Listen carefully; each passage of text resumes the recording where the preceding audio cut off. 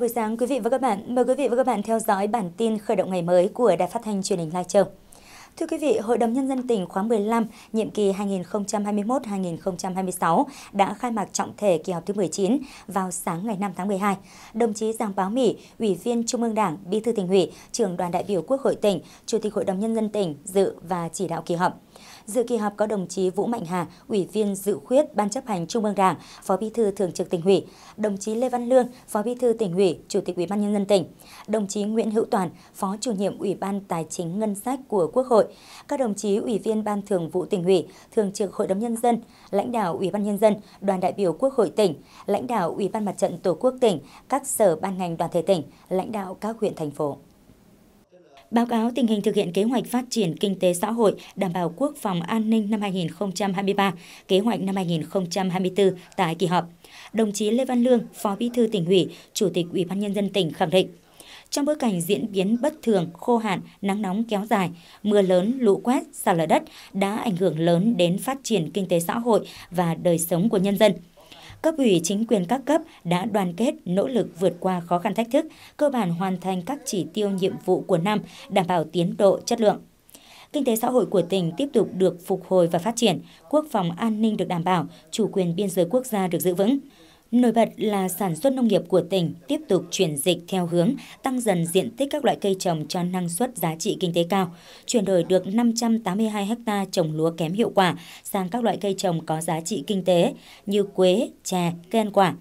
Phát triển được gần 3.900 ha lúa hàng hóa tập trung. Tuy nhiên, một số chỉ tiêu chủ yếu đạt thấp, có khả năng khó đạt, giải ngân vốn đầu tư công còn chậm. Việc triển khai thực hiện các chương trình mục tiêu quốc gia còn khó khăn vướng mắc, chậm khai thông được nguồn lực cho phát triển kinh tế xã hội. Bên cạnh đó, chất lượng thực hiện tiêu chí nông thôn mới chưa đảm bảo, còn tình trạng thiếu giáo viên ở các cấp học. Trên cơ sở dự báo bối cảnh tình hình của năm 2024, Ủy ban nhân dân tỉnh chỉ đạo các cấp, các ngành, các địa phương chủ động đề xuất các chỉ tiêu nhiệm vụ sát thực tiễn, thể hiện quyết tâm cao, phấn đấu về đích sớm một số mục tiêu nhiệm vụ mà Nghị quyết Đại hội Đảng bộ tỉnh lần thứ 14 đã đề ra ngay trong năm 2024. Trong ngày làm việc đầu tiên, kỳ họp đã xem xét các báo cáo hoạt động của Thường trực Hội đồng Nhân dân tỉnh, Ủy ban Nhân dân tỉnh, các ban Hội đồng Nhân dân tỉnh, Tòa án Nhân dân, Viện Kiểm sát Nhân dân tỉnh. Thông báo của Ủy ban Mặt trận Tổ quốc tỉnh về công tác mặt trận tham gia xây dựng chính quyền, tổng hợp ý kiến kiến nghị của cử tri năm 2023. Kỳ họp cũng thông qua các báo cáo và báo cáo thẩm tra đánh giá tình hình thực hiện thu chi ngân sách địa phương năm 2023, dự toán thu ngân sách và phân bổ dự toán chi ngân sách địa phương năm 2024 báo cáo tình hình thực hiện kế hoạch vốn đầu tư công năm 2023 và phương án phân bổ kế hoạch vốn năm 2024 xem xét các báo cáo tờ trình dự thảo nghị quyết, báo cáo thẩm tra các dự thảo nghị quyết của các ban hội đồng nhân dân tỉnh, ủy ban nhân dân tỉnh, Tiếp đó, kỳ họp đã thực hiện công tác nhân sự, miễn nhiệm một ủy viên Ủy ban nhân dân tỉnh do chuyển công tác, bãi nhiệm một ủy viên Ủy ban nhân dân tỉnh, đồng thời bầu bổ sung một ủy viên Ủy ban nhân dân tỉnh. Kỳ họp thứ 19 Hội đồng Nhân dân tỉnh khóa 15 sẽ diễn ra trong 4 ngày, từ ngày 5 đến ngày 8 tháng 12. Nhóm phóng viên sẽ cập nhật diễn biến kỳ họp vào các chương trình thời sự tiếp theo. Kính mời quý vị cử tri quan tâm theo dõi. Theo quyết định số 611 của Thủ tướng Chính phủ về chương trình phát triển sâm Việt Nam đến năm 2030, định hướng đến năm 2045, sẽ dành 21.000 ha tại 9 địa phương có tiềm năng thế mạnh về điều kiện tự nhiên phù hợp cho việc nuôi trồng phát triển sâm Việt Nam, gồm các tỉnh Quảng Nam, Con Tum, Gia Lai, Lâm Đồng, Thừa Thiên Huế, Nghệ An, Lào Cai, Lai Châu và Điện Biên để phát triển cây sâm Ngọc Linh và sâm Lai Châu. Chương trình nhằm xây dựng và phát triển sâm Việt Nam thành ngành hàng có giá trị kinh tế cao là sản phẩm chủ lực trong lĩnh vực y dược và chăm sóc sức khỏe, mang thương hiệu sản phẩm quốc gia, góp phần tạo việc làm, thu nhập cho người dân, phát triển kinh tế xã hội vùng đồng bào dân tộc thiểu số, bảo đảm quốc phòng an ninh. Thưa quý vị, những năm qua phát huy đạo lý truyền thống của dân tộc, lá lành đùm lá rách để không ai bị bỏ lại phía sau, các cấp các ngành huyện Than Uyên đã chung tay vào cuộc xây nên những ngôi nhà ấm áp nghĩa tình, lan tỏa yêu thương, sẻ chia, đùm bọc giữa con người với nhau. Trong đó, mặt trận Tổ quốc là cầu nối phát huy sức mạnh khối đại đoàn kết dân tộc và công tác xã hội hóa. Trong ngôi nhà mới khang trang vừa được hoàn thiện của bà Đặng Thị Mai ở khu 8 thị trấn Than Uyên, có điều kiện sống vui vẻ, quây quần bên con cháu mà không phải lo sợ mỗi khi mưa bão sẽ làm đổ nhà. Được sự quan tâm của các cấp các ngành hỗ trợ 50 triệu đồng từ nguồn quỹ vì người nghèo của tỉnh, vận động xã hội hóa các doanh nghiệp trên địa bàn của huyện Than Uyên 50 triệu đồng và ngày công xây dựng của anh em họ hàng đã giúp bà Mai đã có nơi ở ổn định. Trước ở ngôi nhà nó bẹt nát rồi vắt trơm con là bờ rô thì mỗi lần gió bão thì bị sợ uh, sập xuống thì sợ nguy hiểm. Đến tai, tai nạn đến ờ, con người con là được sự quan tâm của nhà đảng nhà nước rồi. Các cơ quan đoàn thể đã giúp đỡ gia đình tôi là xây được ngôi nhà khang khang trang lên uh, trên cao để ở. Không biết nói gì hơn. Tôi cảm ơn uh, các uh, cơ quan đoàn thể tất cả đã giúp chung sức để ờ, ủng hộ cho gia đình tôi ờ, thoát ờ, cảnh nghèo con được ngôi nhà khang trang lịch sự ở con vui vẻ hạnh phúc và sung sướng. Huyện Than Uyên có 12 xã thị trấn. Những năm qua thực hiện chương trình xây dựng nông thôn mới, toàn huyện đã có hàng nghìn ngôi nhà tạm, ruột nát của hộ nghèo, cận nghèo được các cấp các ngành chung tay làm mới khang trang. Tuy nhiên, trên địa bàn của huyện vẫn còn nhiều gia đình sống trong căn nhà tạm, nhất là nhiều người già đơn thân phát huy đoàn kết tương trợ giúp đỡ những hộ à, yếu thế, những hộ nghèo. Thì à, năm 2 năm 2023 thì phía mặt trận à, tổ quốc huyện cũng đã được sự quan tâm của lãnh đạo của các cấp các ngành trong đó đặc biệt là mặt trận tổ quốc tỉnh đã hỗ trợ cho huyện Than Uyên 60 nhà trên 3 tỷ đồng. Thì hiện tại đến nguồn vốn này thì trên 60 nhà thì đã có 10 nhà thì đã được nhân dân được ở rồi. Còn 30 nhà nữa thì bây giờ là đang tiếp tục xây dựng còn à, dự kiến là khoảng 10 nhà nữa là chúng ta sẽ thực hiện là khởi công đồng loạt. Bên cạnh đó thì à, nguồn vốn của huyện thì à, năm 2023 này cũng ờ, hỗ trợ cho ba nhà là 60 triệu. Trong đó là sẽ tổ chức thực hiện là đặc biệt là quan tâm cho những xã vừa rồi mùng 4 tháng 8 vừa rồi ấy, là bị lũ lụt của xã Tà Mung và Khai Non. Bên cạnh đó, các địa phương trong huyện huy động đóng góp của người dân bằng ngày công lao động, tiền mặt, qua đó gắn kết thêm tình đoàn kết giữa bà con nhân dân trong bản để cùng chung tay giúp đỡ người già neo đơn, hộ nghèo, hộ có hoàn cảnh đặc biệt khó khăn, người yếu thế. Về cái à, mảng mà xóa nhà tạm ấy thì thôn bản thì cũng chú trọng là vận động các hộ nhân dân à, đóng góp à, ngày công hoặc là à, cũng có hộ là đóng góp bằng tiền để à, giúp các hộ nghèo ấy các hộ à, lang là nhà tạm để xóa cái à, nhà tạm đấy gọi chung là à, đặc biệt là cái hộ à, và lò thị phanh này này đấy là thôn bản là cũng cũng vận động các hộ gọi chung là đóng góp là được số tiền là hơn 1 triệu 500 nghìn hỗ trợ uh, hộ gia đình. Từ cái hôm làm móng ấy thì là nhân dân trong bản ấy cũng đi ra tham gia giúp hộ gia đình được uh, riêng tổng cái ngày làm móng ấy là được uh, 50 công. Với sự chung tay giúp đỡ của các cấp các ngành và nhân dân huyện Than Uyên, gần 60 ngôi nhà mang tên Đại đoàn kết, ấm áp nghĩa tình đã và đang dần được hoàn thiện trong năm nay, giúp cho hộ nghèo, người già neo đơn, người yếu thế có được cuộc sống sung túc, hạnh phúc hơn. Qua đó làm động lực để cho người nghèo vươn lên cùng góp sức xây dựng Than Uyên giàu đẹp, văn minh. Thưa quý vị, năm 2023, do thời tiết cực đoan làm hầu hết các vườn cây của công ty cổ phần cao su Lai Châu bị rụng lá lần hai, ảnh hưởng lớn đến kế hoạch khai thác. Do đó, để có thể đảm bảo được sản lượng đề ra, công ty đã thực hiện nhiều giải pháp, trong đó đẩy mạnh phong trào thi đua, nước rút, hoàn thành kế hoạch sản lượng 4 tháng cuối năm 2023 qua đó tạo không khí lao động hăng say cho cán bộ công nhân của công ty. Phóng sự sau đề cập nội dung này là một trong những đơn vị thành lập đầu tiên của công ty cổ phần cao su Lai Châu. Giai đoạn ban đầu, nông trường cao su Nậm Tam gặp vô vàn khó khăn khi cơ sở vật chất gần như bằng không. Cơ sở hạ tầng tại vùng phát triển trồng cao su của nông trường chưa được đầu tư xây dựng. Giai đoạn vườn cây của đơn vị đưa vào khai thác nhiều, cũng là thời điểm ngành cao su gặp nhiều khó khăn trong tiêu thụ sản phẩm. Giá bán chưa có dấu hiệu phục hồi như những năm trước – Điều đó ảnh hưởng khá lớn đến thu nhập và đời sống của người lao động. Đứng trước thực tế đó, Ban Giám đốc và Ban chấp hành công đoàn xác định, ngoài việc áp dụng các tiến bộ khoa học kỹ thuật thì cần phải nâng cao năng suất lao động qua việc đẩy mạnh các phong trào thi đua lao động sản xuất, thi đua để cùng phát triển, thi đua để nâng cao năng suất lao động, qua đó sẽ là đòn bẩy nâng cao hiệu quả lao động và thu nhập cho cán bộ công nhân viên toàn đơn vị. cũng đã thực hiện là à, họp triển khai các cái nội dung mà, gọi là kế hoạch à, công ty giáo với thứ hai nữa. Kèm theo đó thì à, nông trường cũng à, đã giao kế hoạch cụ thể cho từng công nhân và từng tổ sản xuất. Từ cái chỗ đó là căn cứ vào cái đó, nông trường cũng để căn cứ vào cái sản lượng đạt được để mà làm cái căn cứ để thực hiện cái kế hoạch thi đua sản xuất của từng tháng để mà đánh giá được cái cái cái cái cái cái, cái năng suất của từng à, gọi là công nhân một thứ hai là vườn cây thứ ba là cái cái à, để mình sắp xếp là cái thu nhập cho người lao động cho thế nào cho nó phù hợp theo từng à, cái, cái khu vực một. Khi mình triển khai như vậy thì làm cho cái công nhân với người lao động á, thì nó hào hứng hơn trong công tác sản xuất là tạo cái uh, gọi là thúc đẩy cái uh, cái sự phấn đấu và cái sự cạnh tranh của của từng công nhân một. Bằng sự đoàn kết gắn bó và nỗ lực của mình, tập thể đơn vị đã luôn hoàn thành xuất sắc nhiệm vụ công ty giao. Vườn cây được chăm sóc và phát triển tốt, thu nhập của người lao động luôn ổn định. Công nhân bọn tôi là cũng nâng cao tinh thần là, là, là trong uh, uh, thời điểm mùa uh, những cuối năm là ra nhiều. Anh em là cũng à, cố gắng và à, không bỏ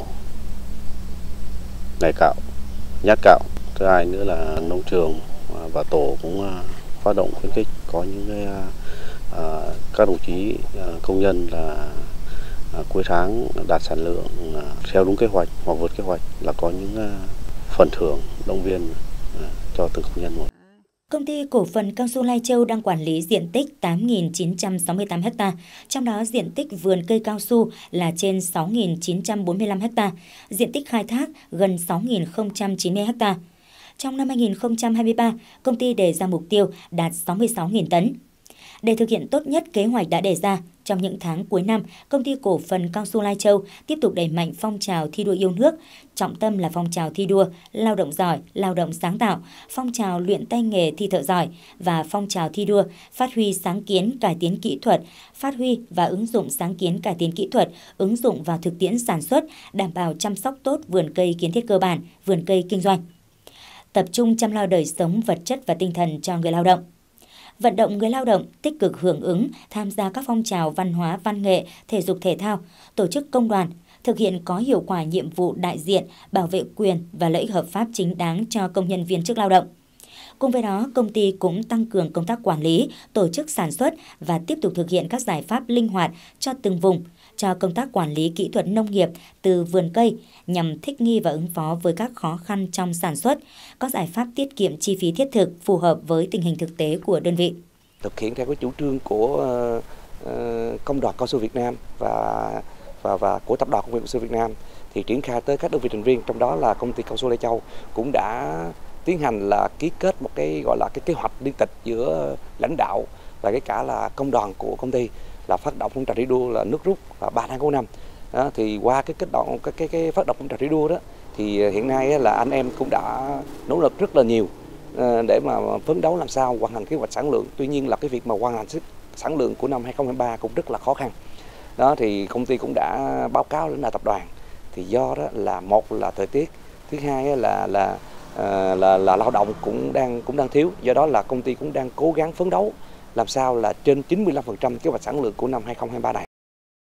Với những kết quả bước đầu nhận được sau khi phát động phong trào thi đua tới toàn thể các đơn vị của công ty, trong thời gian tới, công ty cổ phần cao su Lai Châu sẽ tiếp tục có những thay đổi trong công tác quản lý, cách thức tổ chức các phong trào thi đua, tạo những bước đột phá trong sản xuất và quan trọng nhất là sự gắn kết người lao động để từng bước nâng cao thu nhập cho người lao động, giúp họ yên tâm công tác, gắn bó và xây dựng đơn vị phát triển bền vững.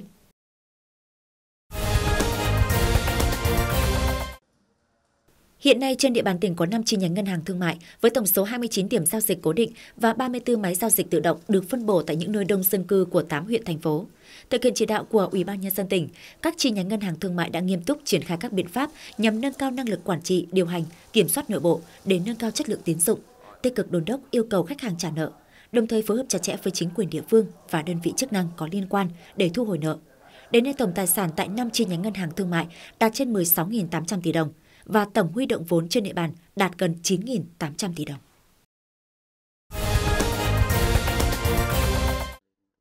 Toàn tỉnh hiện có 176 hợp tác xã đang hoạt động trong lĩnh vực nông nghiệp, trong đó có 32 hợp tác xã trồng trọt, 24 hợp tác xã chăn nuôi, 4 hợp tác xã lâm nghiệp, 20 hợp tác xã thủy sản, 96 hợp tác xã nông nghiệp tổng hợp. Sự phát triển của các hợp tác xã trên địa bàn đã tập hợp được các hộ kinh doanh vừa và nhỏ tập trung sản xuất thành chuỗi sản phẩm hàng hóa có quy mô lớn. Thời gian tới, việc triển khai các chương trình dự án về phát triển kinh tế tập thể sẽ tiếp tục hỗ trợ cho các hợp tác xã trên địa bàn của toàn tỉnh có cơ hội phát triển hơn, giúp đỡ được nhiều xã viên, người nông dân, thúc đẩy các ngành hàng trong lĩnh vực nông nghiệp phát triển hơn. Quý vị và các bạn thân mến, em Nguyễn Trường Giang, lớp 9A6, trường Trung học cơ sở Đoàn kết thành phố Lai Châu, liên đội trưởng nhà trường và hiện là Chủ tịch Hội đồng Trẻ Em tỉnh Lai Châu, luôn chăm chỉ, gương mẫu đi đầu trong học tập cũng như các hoạt động của trường, được bạn bè và thầy cô vô cùng quý mến. Vừa qua, em còn vinh dự là đại biểu nòng cốt của phiên họp giả định Quốc hội Trẻ Em, đưa tâm tư nguyện vọng của thế hệ trẻ Lai Châu gửi gắm tới các bộ, ngành và địa phương. Chỉ tính từ năm học 2015-2016 đến hết năm học 2022-2023, em Nguyễn Trường Sang đều là học sinh xuất sắc, đạt các giải cao trong các cuộc thi, hội thi các cấp cùng nhiều bằng khen và giấy khen. Trường Sang còn được giao chứng nhận đạt danh hiệu cháu ngoan Bác Hồ của Hội đồng đội phường, thành phố, tỉnh. Bằng khen của Hội đồng đội Trung ương và của tỉnh có thành tích xuất sắc trong công tác đội và phong trào thiếu nhi.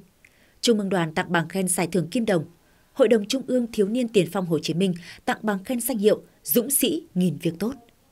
Trong phiên họp giả định Quốc hội trẻ em lần đầu tiên được tổ chức tại Hà Nội vào ngày 10 tháng 9 vừa qua, em vinh dự được đóng vai trò Bộ trưởng Bộ Lao động Thương binh và Xã hội. Tại đây, em truyền tải ý kiến, nguyện vọng của trẻ em trong tỉnh về bạo lực, xâm hại trẻ em tại gia đình, nhà trường, tảo hôn, kết hôn cận huyết, tai nạn thương tích, bảo vệ trẻ em, tương tác lành mạnh, sáng tạo trên môi trường mạng, đến lãnh đạo đảng, nhà nước, các bộ ngành, từ đó có cơ chế chính sách phù hợp. Bên cạnh đó còn được gặp gỡ giao lưu, học hỏi kinh nghiệm học tập, thực hiện công tác đội và hoạt động của hội đồng trẻ em ở địa phương. Để có những thành tích cao như vậy là những nỗ lực không mệt mỏi của em trong học tập. Tích cực đăng ký tham gia các cuộc thi, các chương trình giao lưu tiếng Anh, tuyên truyền pháp luật, an toàn giao thông, giúp em tự tin, mạnh dạn hơn khi phát biểu trước đám đông. Ngoài việc kết hợp giữa các kiến thức mà đã giảng dạy trong sách giáo khoa thì các thầy cô còn cho chúng em xem được rất là nhiều những cái hình ảnh từ thực tế, những cái tư liệu, những cái thí nghiệm để chúng em có thể hình dung rõ được những cái kiến thức đấy như thế nào. Ngoài ra thì có những cái buổi trải nghiệm thực tế, hoạt động với gắn kết những cái kiến thức trong cuộc sống với nhau để chúng em có thể hình dung được là những cái kiến thức đấy có thể áp dụng được trong cuộc sống như thế nào, hiểu thêm được những cái kiến thức trong thực tiễn, mở mang cái tầm óc là không chỉ là chỉ trong kiến thức trong sách giáo khoa mà ngoài ra còn những kiến thức ở bên ngoài sách giáo khoa nữa và những kiến thức trong thực thực tế. Từ đó thì có thể là vừa học thêm được những kiến thức bổ ích, vừa có thêm những kiến, kỹ năng cần thiết cho một người học sinh ạ. Còn về học như thế nào để học, tiếp thu hiệu quả thì trước giờ lên lớp thì ở nhà khoảng tối hôm trước thì có thể là em tìm hiểu những cái bài đấy, soạn, chuẩn bị soạn bài trước để có thể lên trên lớp. Thì những có cái gì khó khăn thì mình sẽ có thể hỏi trực tiếp cô giáo hoặc các thầy cô giáo có thể giảng dạy cho mình luôn. Thì từ đấy mình sẽ nắm sâu và nắm vững được kiến thức hơn. Ngoài ra trong lớp thì ừ, chúng em là có thể là đóng góp tích cực trong cái bài giảng của thầy cô để có thể là các thầy cô có thể sửa những cái lỗi sai cho mình. Từ đấy mình có thể cải thiện và tiến bộ hơn trong học tập ạ. Không chỉ học giỏi, Trường Sang cũng là cậu học trò rất hòa đồng, nhiệt tình với các bạn trong lớp, luôn sẵn sàng giúp đỡ các bạn trong việc học tập, luôn đem những kiến thức của mình có được để giúp các bạn hoàn thành các bài tập khó hơn. Bên cạnh đó, em cũng năng nổ trong các hoạt động văn hóa, văn nghệ của trường, của lớp trong các lớp thì cũng tổ chức những cái hoạt động như là đôi bạn cùng tiến hay là những cái nhóm bạn để cùng nhau giúp đỡ học tốt hơn. Bạn nào học giỏi hơn thì giúp đỡ những bạn học nào yếu, bạn nào học yếu hơn về những một môn nào đấy, một lĩnh vực nào đấy, rồi là có thể giúp đỡ nhau ngược lại, có thể là cùng nhau để có thể là học tập nhau để phát, để cùng phát huy cái năng lực học tập của bản thân mình em mong muốn là nhà trường sẽ có thể tổ chức nhiều hơn những cái buổi hoạt động trải nghiệm, hoạt động ngoại khóa để chúng em có thể có thêm được nhiều những cái kỹ năng sống bổ ích cho bản thân qua quá trình tôi giảng dạy, tôi tôi nhận thấy em Trường Giang là một học sinh rất là thông minh, có sự thông minh khá là đặc biệt. Thứ nhất là em ấy rất nhanh nhạy và trong cái việc học tập. Vì vậy mà à, em luôn có cái cách học rất là thông minh à, nhanh nhạy tiếp cận kiến thức rất là nhanh. Mỗi khi chúng tôi giảng bài thì em đều nắm bắt kiến thức rất là tốt và với em thì có cái sự khác biệt hơn. Nên trong từng tiết dạy chúng tôi cũng đã có chủ động về cái phương à, thức giảng dạy đối với em đó là à, qua dẫn dắt gợi ý thì em ấy làm bài rất là nhanh. Em ấy nắm bắt được cái tinh thần của câu hỏi của các vấn đề được đưa ra và em giải quyết. Thế thì à, khi mà chúng tôi nêu vấn đề thì em giải quyết vấn đề rất là chu đáo à, đến nơi đến chốn. Vì vậy mà không phải mất nhiều thời gian chỉ cần tư ý tư vấn gợi ý và em có thể được coi là một cán sự bộ môn. Đối với tôi thì là một cán sự bộ môn rất là tốt thì luôn để cho em trả lời những cái câu hỏi ở mức độ khó và nâng cao để à, câu trả lời mang tính chất là ý chốt sau khi mà các bạn khác được trả lời. Vì vậy mà em có thể được coi là một điểm sáng trong các môn học. Và ngoài học tốt các bộ môn văn hóa ra thì trong nhà trường em cũng tham gia tích cực rất nhiều, nhiều các hoạt động phong trào. Với sự chăm chỉ, nỗ lực trong học tập và những thành tích của mình, em Nguyễn Trường Sang luôn được thầy cô và bạn bè tin yêu, quý mến, là tấm gương sáng cho các bạn học tập và noi theo. Bản tin khởi động ngày mới của Đài Phát thanh Truyền hình Lai Châu hôm nay xin được kết thúc tại đây. Cảm ơn quý vị và các bạn đã quan tâm theo dõi. Thân ái chào tạm biệt và hẹn gặp lại.